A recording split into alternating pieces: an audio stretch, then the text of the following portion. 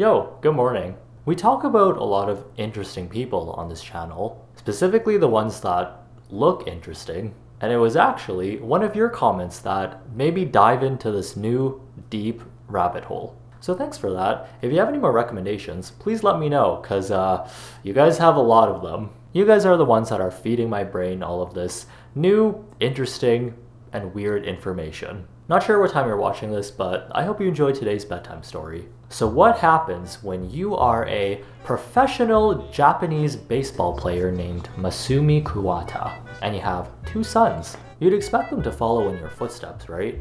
Uh, wrong. Parents shouldn't be controlling their kids like that. That's like hover parenting. That's why one of his sons named Masaki became a baseball player for a minor league team in Japan while his other son, named Masashi, became a living doll?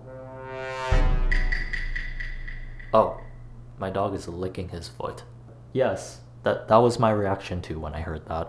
You know, just wanted to try something new, uh, trying to break out of those chains that society puts on us. I'm just reading up on the beauty standards for dolls. Porcelain skin, big doll-like eyes, and really tiny heads. So to fit into the doll beauty standard, Musashi, who used to look like this, and then looked like this, now goes by Matt and looks like this.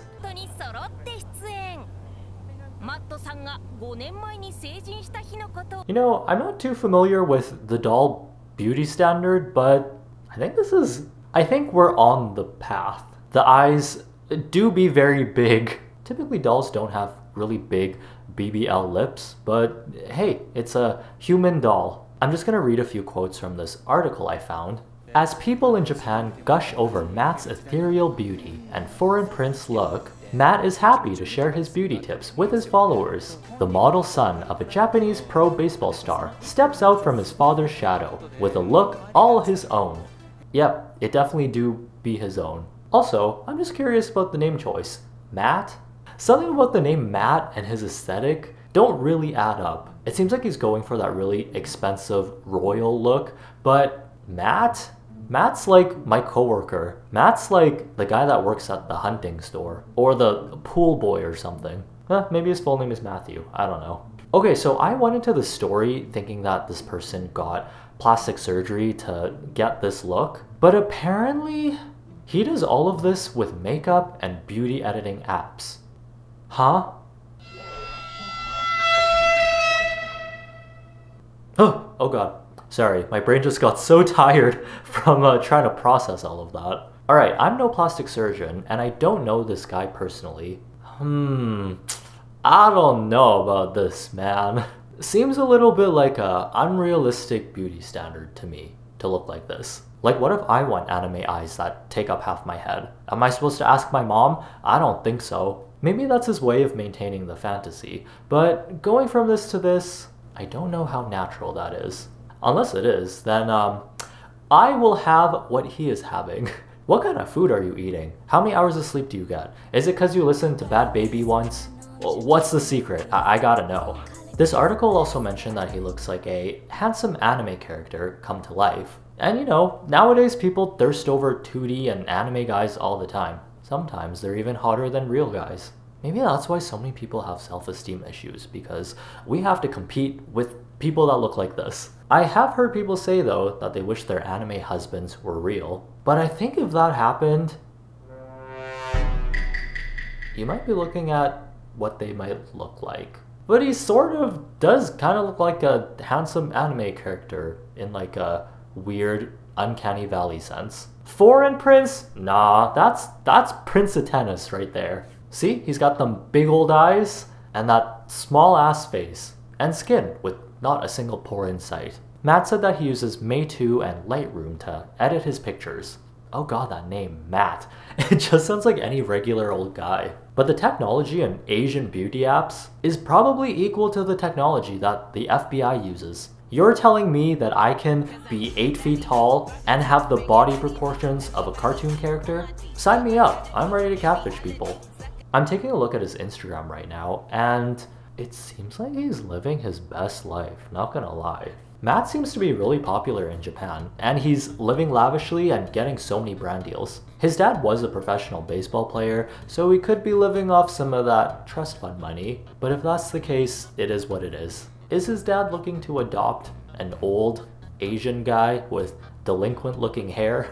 I can clean floors, I can polish baseballs, and in some of these pictures, I don't know if I'm just getting used to seeing really eccentric looking people, but he really doesn't look that bad in some of them. It could be the Photoshop, but he's sort of looking normal to me. Also, what is that? What is that? What, what was that? that? Why does that look familiar? Oh no. Oh no. Oh no, no, no. Uh oh. Oh my god, Matt, I, I don't know what to tell you, man. Uh, I think you've been chosen. I, I think you've been noticed. Oh no, Matt! Oh no, I am so sorry. Uh, you need to run. You need to get out of here. Or maybe not. Isn't Oli London usually obsessed with Asian guys? But this is a Japanese man that looks European and not Asian, but he is 100% East Asian.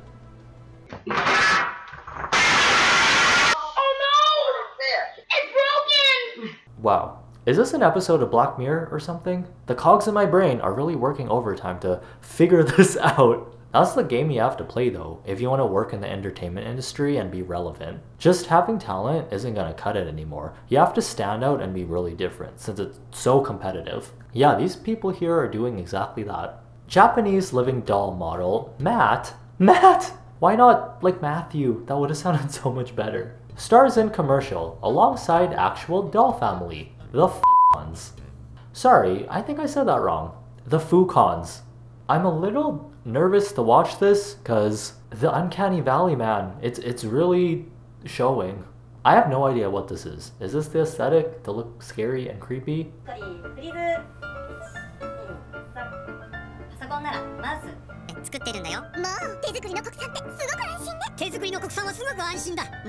作ってるんだよもう手作りの国産ってすごく安心ね手作りの国産はすごく安心だマイキーお前も手作りの国産だな発情させちゃうんだ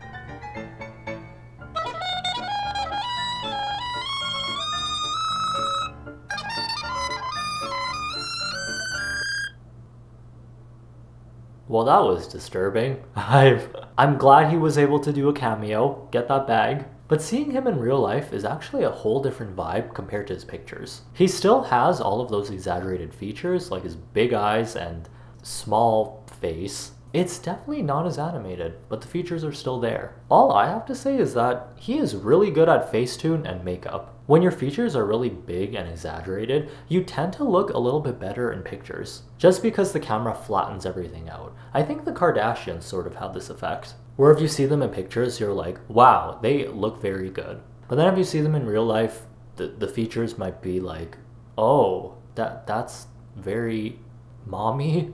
Sorry, I, I mean mommy. Sorry, I mean stormy. And then in video form, you tend to look more like your real self. Oh god, what is this?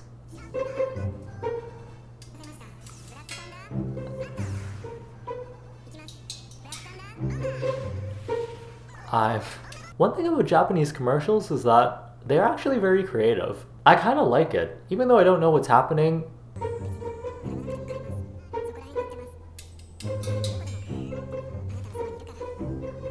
Oh, I thought I did for a second. Uh, turns out I have no idea what's happening.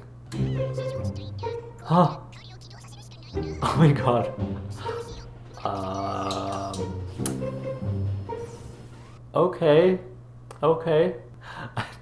Don't know what to say. Another thing that caught me by surprise, Matt is a full-on singer. He has a full-on singing career, and he's actually pretty good at singing. I watched a few of his music videos, if you want to check them out yourself, because I don't want to get copyrighted. Matthew Kawata? What in the tar nation?